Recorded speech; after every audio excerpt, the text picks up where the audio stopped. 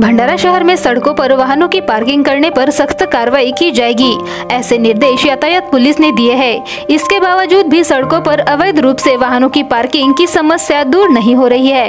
प्रतिदिन traffic jam होने के कारण नागरिकों को परेशानी का सामना करना पड़ रहा है। मेन रोड के साथ ही मार्केट परिसर में कहीं भी पार्किंग के लिए जगह उपलब्ध नहीं है। ऐसे में लोगों द्वारा सड़क पर ही वाहन रखे जाते हैं। मेन रोड के साथ ही सड़कों पर दुपहिया व चौपहिया वाहन रखे जाने से आवागमन आवागमन में बाधा निर्माण हो रही है। इतना ही नहीं तो कार भी बड़े पैमाने पर सड़क किनारे रखी जा रही है। इस और यातायात पुलिस को ध्यान देना चाहिए, ऐसी मांग ज़ोर पकड़ रही है। भंडारा गोंदिया जिला वासियों के लिए खुश खबर है।